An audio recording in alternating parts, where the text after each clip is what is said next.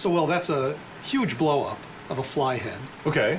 Do you see anything uh, a little peculiar about it? Yeah, the antenna look very strange.